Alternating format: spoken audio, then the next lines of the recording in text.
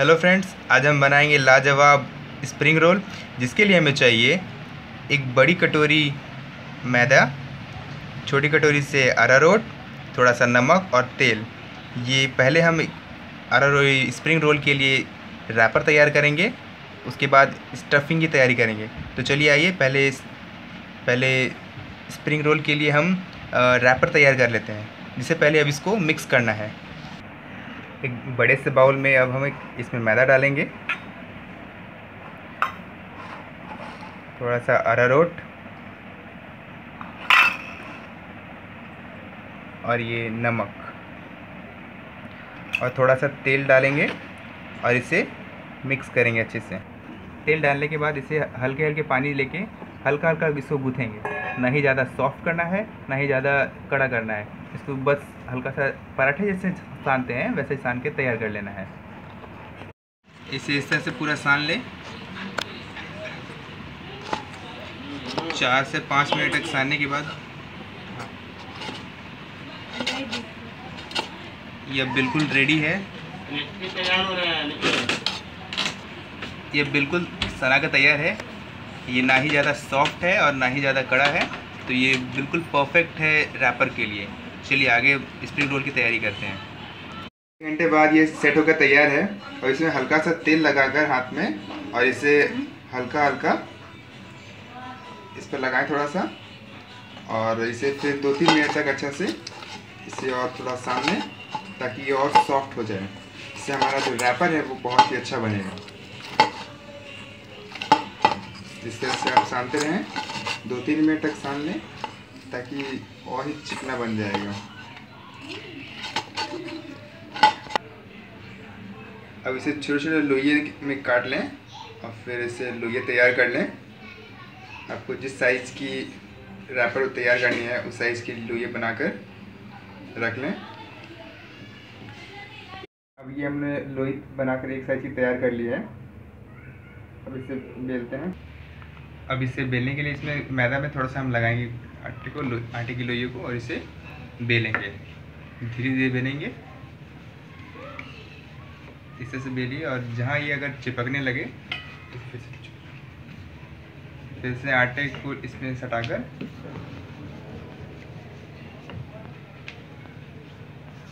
इसे बिल्कुल पतला बेलना है।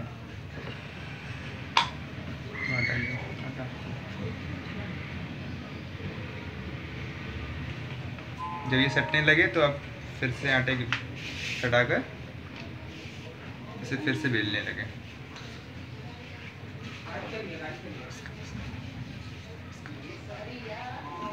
अब इस, ये बेल के तैयार है, अब इसको साइड रख लेते हैं। एक हमने बेल कर साइड तैयार रख दिया है। अब दूसरा इसी के साइज़ का बराबर हमें बेल कर यहाँ पे तैयार कर लेना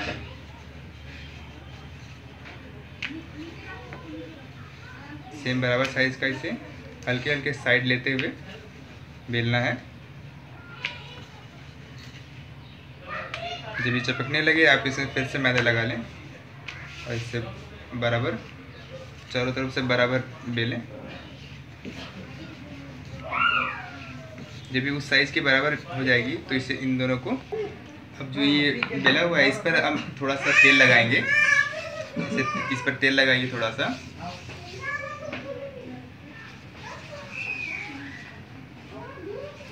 तेल लगाने के बाद इस पर हल्का सा मैदे को छिड़क दें।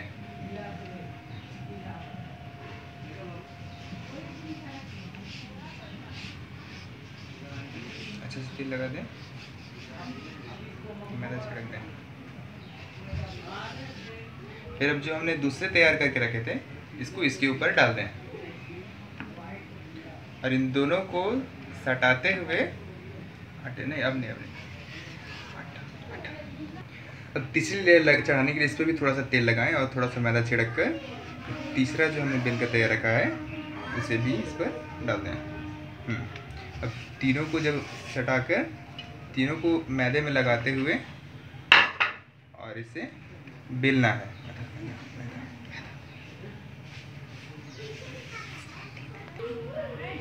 मैदे पर ऐसा सटा कर अब इसे हमें बेलना है। इसे अच्छी तरह से बेलना है, जिस साइज़ की हमें चाहिए, और बिल्कुल पतला कर लेना है।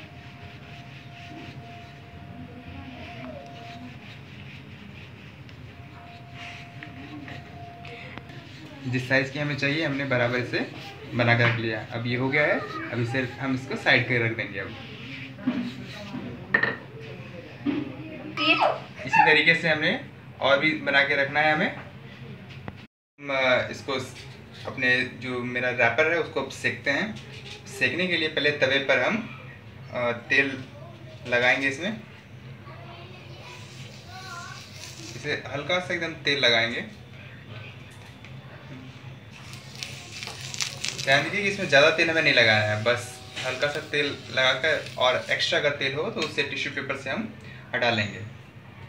तवा हल्का गर्म है। और इसे बराबर से रख देंगे।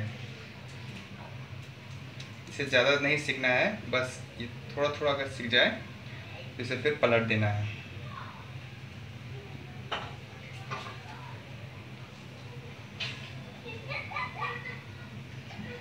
देखिए ये साइड से अब थोड़ा थोड़ा छोड़ने लगा है, इसे देखिए हम पलट देंगे। ज़्यादा नहीं सीखना है हमें।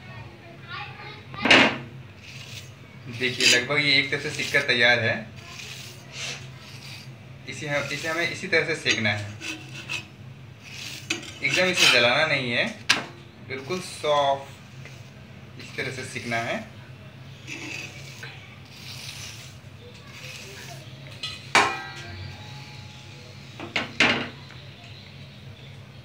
और जब ये सीख कर तैयार हो जाए, इसे बस हमें प्लेट में अलग रख लेना है।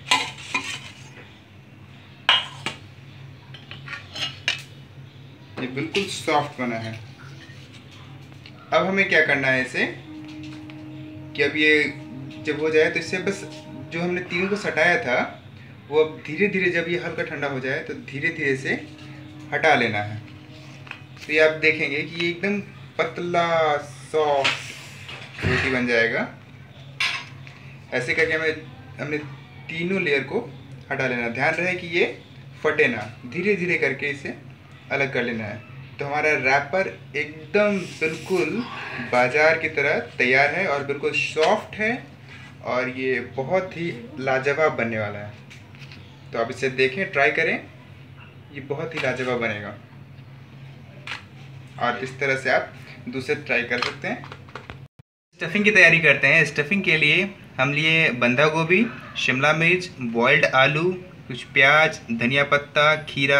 आप चाहो तो इसमें गाजर हो या फिर कुछ भी अपने अपने पसंद की सब्ज़ी कुछ भी जो डालना चाहे आप डाल सकते हैं।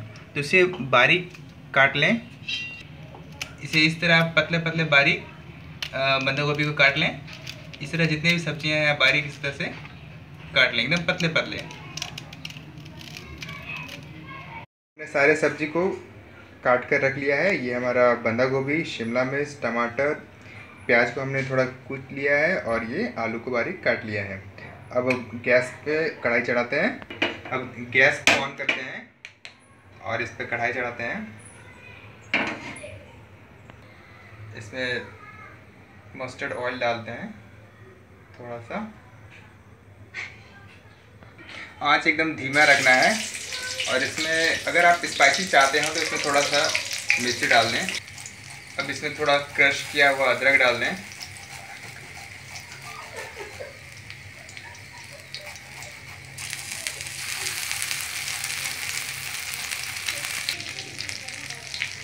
हमारा जो क्रश किया हुआ प्याज डाल दें इसमें। और इसे धीमी आँच में इसे लाइट गोल्डन होकर इसे पकाएँ। ध्यान रहे, प्याज अच्छी तरह से पक जाना चाहिए और एकदम धीमी आँच पर पकाएँ और प्याज को अगर धीमी आँच देर तक पकाते हैं तो लाइट ब्राउन होने तक ये बहुत अच्छा स्वाद देता है। तो आप इस पर ध्यान दें, प्याज हमारा सही तरीके से पकना चाहिए। अगर ये सही से नहीं पका तो स्वाद में थोड़ा खराबी आ जाती है। इसे बीच बीच में चलाते रहें ताकि ये बिल्कुल भी कढ़ाई से ना चटके और ये जले ना। और इसे हल्का सा लाइट ब्राउन तक पकाना है। ये अब सुनहरा रंग लेने लगा है। अब इसमें हम बाकी की चीज़ें एक एक करके डालेंगे। इसमें शिमला मिर्च डालते हैं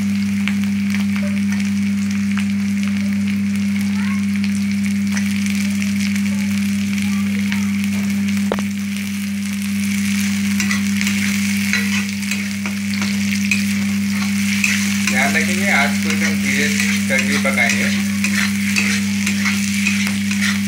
ऐसे यूँ ही चलाएँगे ये हल्का सा अगर सॉफ्ट हो जाए, बस हमें इसे सॉफ्ट करना है ही ज़्यादा कुक नहीं करना है। नहीं तो शिमला मिर्च, फिर अपना रंग, हरा रंग छोड़ देगी।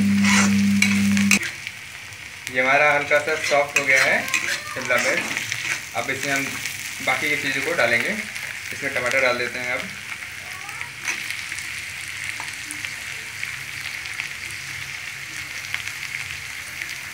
ध्यान रखिए कि टमाटर को भी अच्छी तरीके से अपने पकाना है।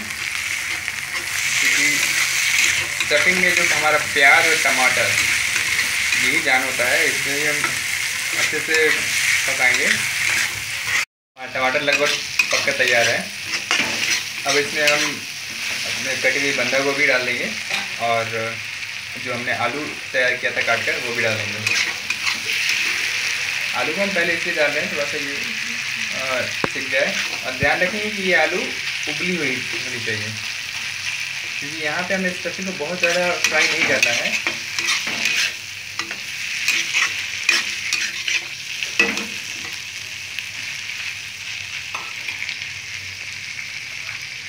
ये हल्की सी हो जाने के बाद इसमें हम बंद गोभी डाल देते हैं।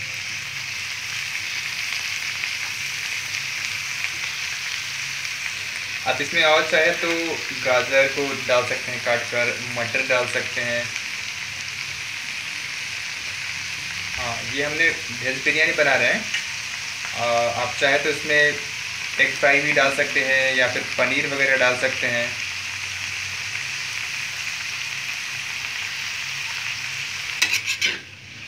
इसमें अब इसको हम हल्के से चलाएँगे। ध्यान रखें इसके भी ज़्यादा हमें नहीं पकाना है। बस बंदे गोभी को थोड़ा सा सॉफ्ट करना है बस। और बिल्कुल धीमी धीमी धीमी है पकेगी। अब इसमें थोड़ा सा हल्दी डाल देंगे।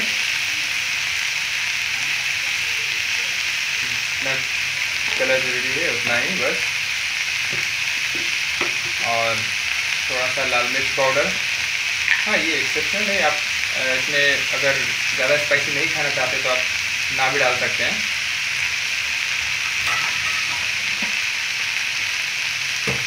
और थोड़ी सी नमक। नमक स्वाद अनुसार डालेंगे।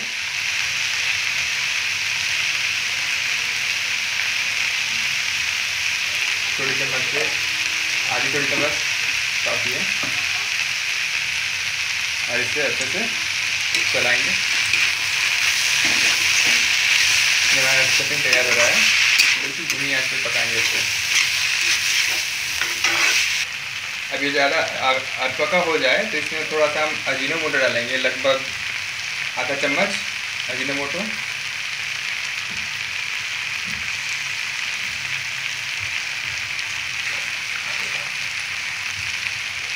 थोड़ा सा विनेगर डालेंगे इसमें। ये भी लगभग एक टेबल स्पून थोड़ा सा सोया सॉस ये भी आधा टेबल स्पून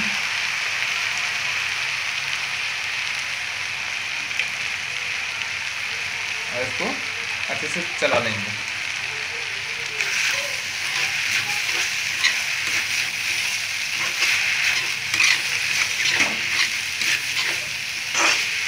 अच्छे चला लेंगे। बहुत अच्छी सुगंध आने लगी है।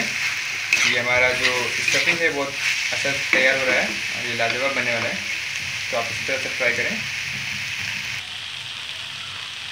ये हमारा लगभग पक्के तैयार है। इसमें हम अब थोड़ा सा धनिया पत्ता और थोड़ा सा पुदीने की पत्ते उस पर डाल देंगे। और थोड़ा धनिया पत्ता डाल लेते हैं। और थोड़ा पुदीने की पत्ता। इसको बारीक चॉप किया हुआ है। आप इसे बारीक काट लें। थोड़ा पुदीना पत्ता और डाल देते हैं। अब कुछ चला लेते हैं अच्छे से।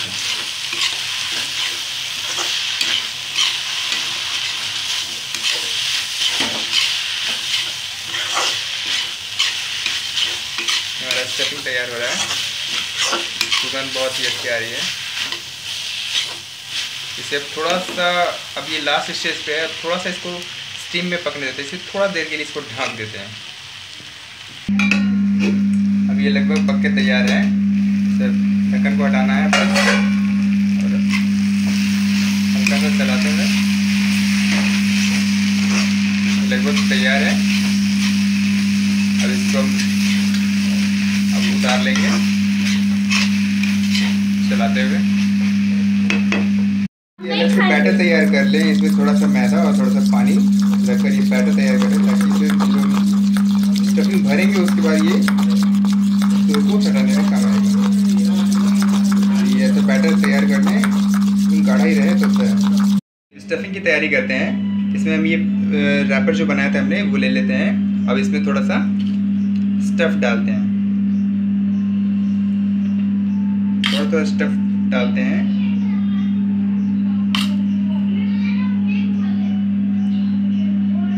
हल्का का स्टफ़ मैंने डाला इसमें। और थोड़ा सा बैटर जो तैयार किया था, वो इसमें चिपकाने का काम करेगी, इसलिए थोड़ा थोड़ा बैटर लगा देंगे साइड साइड से। और ये बैटर लगाने के बाद बस इसे रोल कर देना है रोल का शेप दे देना है। इसे इस तरह से लपेटा एक बार एक बार इस तरीके से लपेटा। और फिर इसे राउंड शेप देना है, ऐसे। और ये one round and second round तो ये हमारा एक रोल तैयार हो चुका है। इस तरीके से मैंने और दो तीन रोल तैयार करके रख चुका है। तो आप देख लें, इस तरीके से और बाकी सारे रोल आपने तैयार करके रखने हैं। अब हमारा तेल गर्म हो चुका है। बिल्कुल धीमी आँच पे हमें अब सेकना है। इसमें बस ट्राई कर लेंगे कि ये गर्म है या नहीं।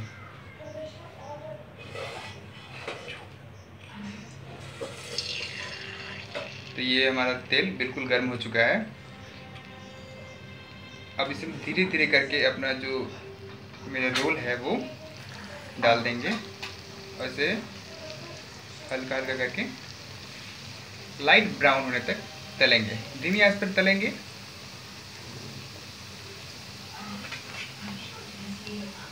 और इसे हल्का हल्का चलाते रहेंगे। बिल्कुल भी ज़्यादा ज़ोर नहीं लगाना है, क्योंकि ये बहुत ही अभी सॉफ्ट है।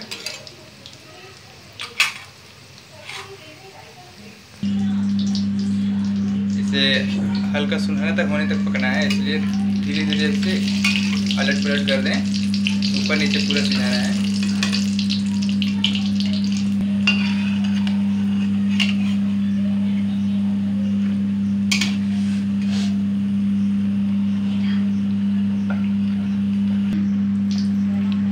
इसे एकदम लाइट ब्राउन होने तक तलना है, ये एक तरफ़ सीख चुका है। अब दूसरी तरफ़ भी अच्छे से हो जाए। उतार लेना है। ये बहुत ही सुनहरा अच्छा लग रहा है और ये स्वादिष्ट भी बना हुआ है। इस तरह से जो तल चुका है, उसे झाड़ते हुए निकाल लेना है। बाकी तेल को शोक कर लेना है और निकाल के इसे अब हम गार्निशिंग करेंगे।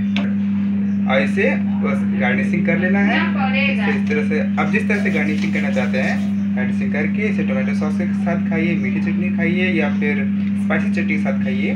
बहुत ही लाजवाब बनेगी। तो आप इस तरह से बना सकते हैं। ये हमारा वेज स्प्रिंग रोल रेडी है। Thanks for watching thank you